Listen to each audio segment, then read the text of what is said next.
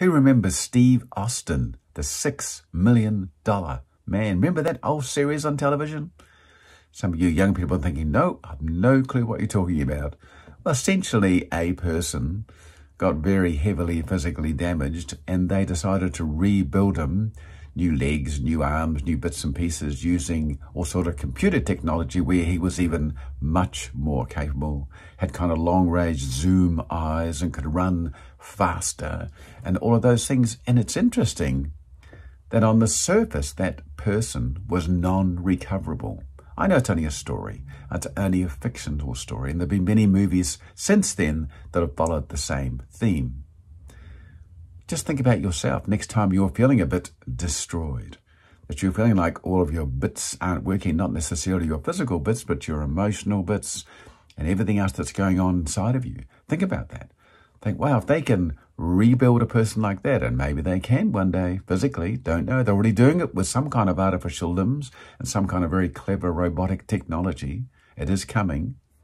Think about that. People can rebuild their emotions. They can rebuild their goals. They can rebuild their dreams. They can rebuild their self-esteem and their self-worth.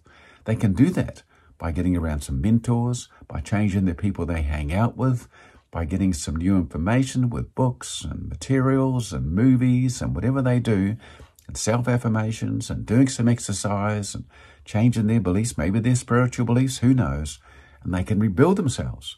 They can become like Steve Austin. They can re-emerge stronger, more powerful than they ever were before. When they went into that mode, when they sunk down to the very bottom of their emotions or their finances or their physical situation, and then they hit the bottom and decided, nope, I'm not staying here. I'm coming back up.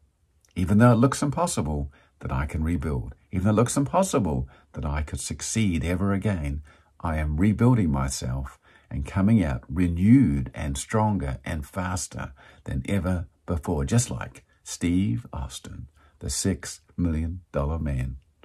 If you've never seen the old series, have a look on YouTube. It's on there. Classic old series on television a long time ago. Anyway, just reminded me that we all go through heartache, we all go through pain and suffering, and yet we can get ourselves back up and rebuild and become out even stronger than before. You're listening to an episode of Speed. Short, powerful episodes of enthusiasm and determination. Next time you're down, think about the Six Million Dollar Man. You can do that. You can do it. Thanks for watching as always. I really appreciate it. Have a fabulous day. Bye-bye.